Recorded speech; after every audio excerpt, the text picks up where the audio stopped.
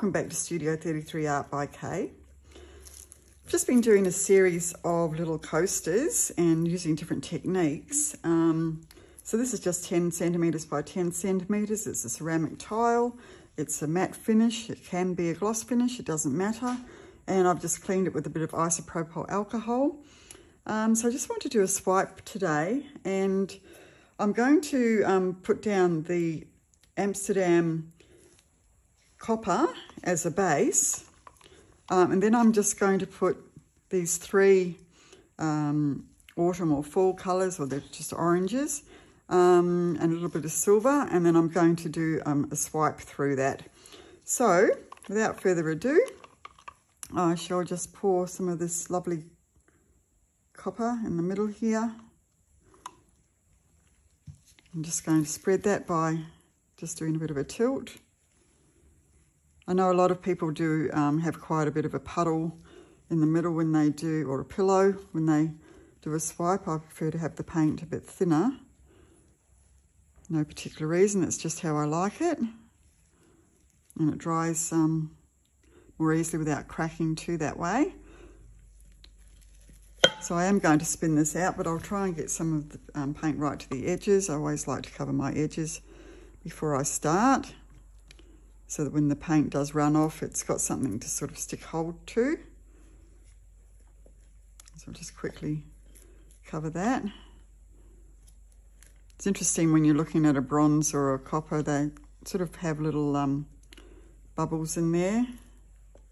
They should um, dry okay. Should be the operative word. This is a beautiful copper. I do love copper.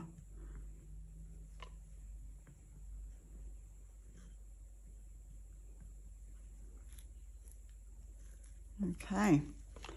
So now I'm just going to lay down these paints. This is the last of this little one I've got here, which is the Global Orange. And I've mixed it with the Amsterdam Deep Gold.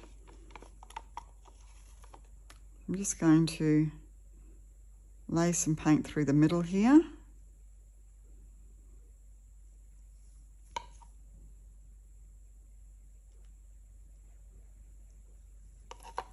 And then I'm going to put some of the Eraldo Metallic Burst Orange, which is a beautiful metallic colour. Just lay that through there. Hopefully we'll get some beautiful cell activity. I think we will.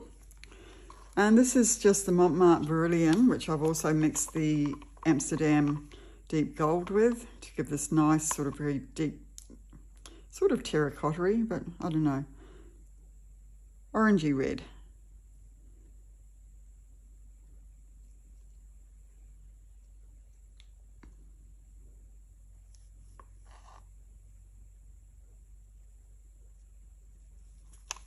And I think I just want to put a little bit of silver through that, just to give a slight variance to the colour, give a bit of contrast.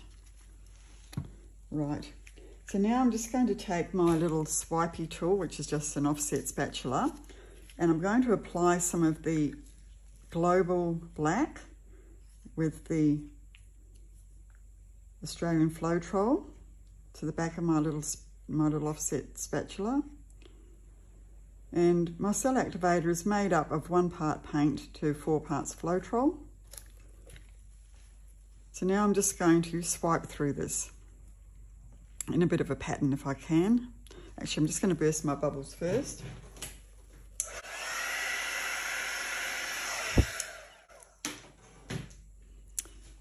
And here we go.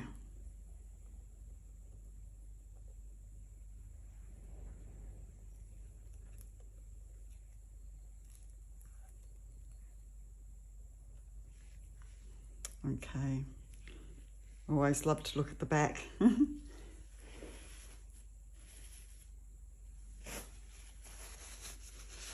Oh, some nice cells coming up in there.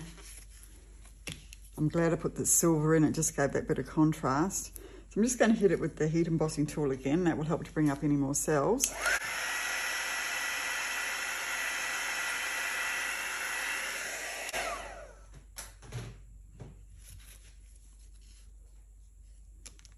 I'm not loving this plain black bit here where I had the cell activator that was um, probably could have done with having my spatula not putting the cell activator as far and having it maybe halfway so that I could go like that without getting all that black there.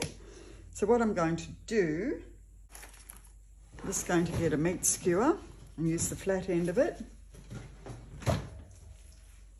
And I'm just going to do some little um, wrecking lines through there. Just to break that up somewhat.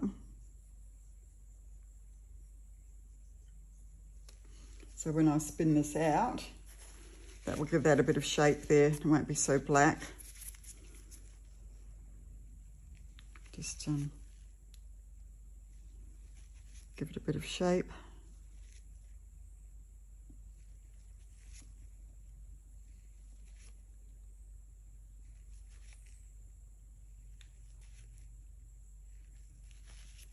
This bit here needs something doing to it, so I'll just drag some of these into there.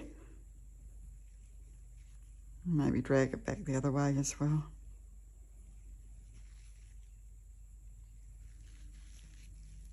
Okay.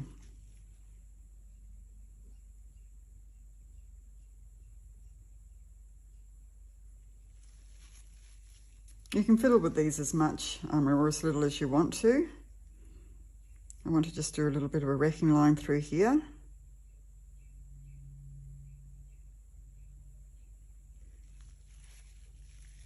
And another one just back this way, just outlining where that silver is.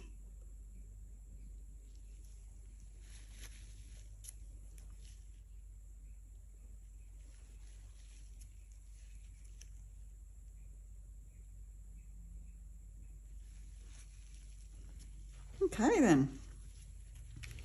So now I'm just going to give it a gentle spin.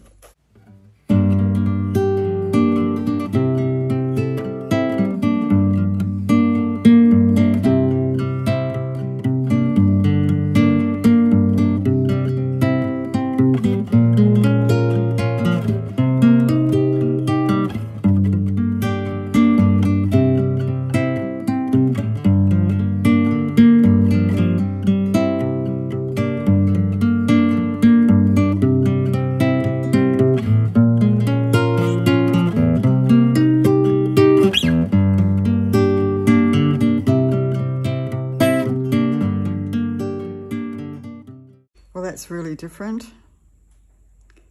I like it a lot. Very abstract. Just something, as I say, really different. I like it. I don't think I'll spin it anymore. Might just do a little bit of um, embellishing through there. I'm just not loving that shape there, so I'll just bring a line through there down to there like that. Which makes that into some pretty sort of flower shape. And I'll do the same here.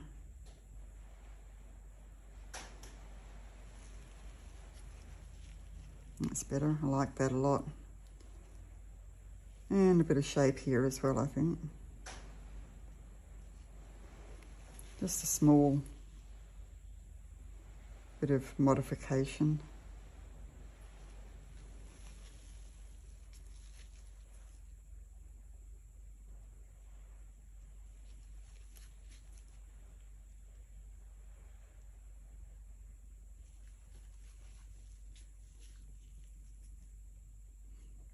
Going to do a 12 through that, but I like it just like it is.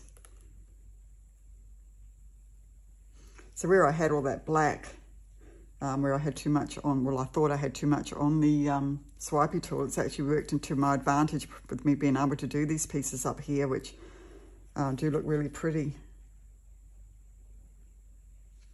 I think. I'd love to know your opinion as well, if you'd like to um, let me know in the comments. And I like where I've done the wrecking line here. I think I just like this here. Maybe I can just do a little bit of modification there. Don't do too much. You can go overboard.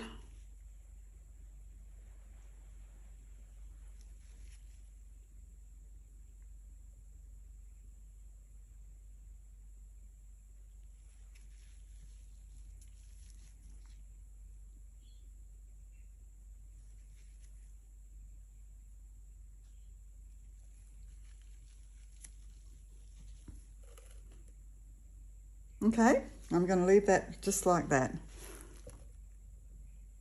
Other than that. Beautiful. Right, I'll just hit it with the heat embossing tool one more time.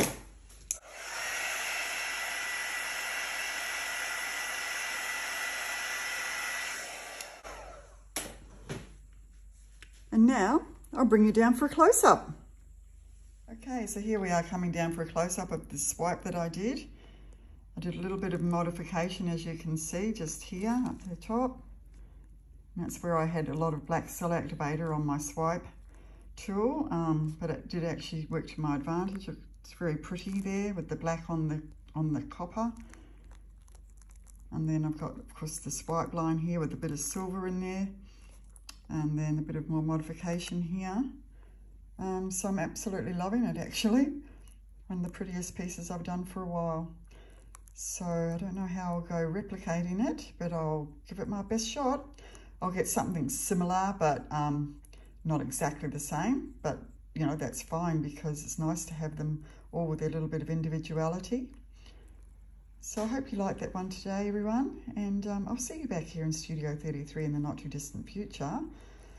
In the meantime, stay safe. Oh, and I forgot to mention, when you place your tile um, on the paper cup or the plastic cup to dry, make sure you've covered all your edges and also wiped any drips from underneath.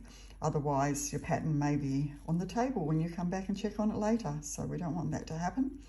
Okay, so um, once again, see you soon and um, happy painting. Bye-bye.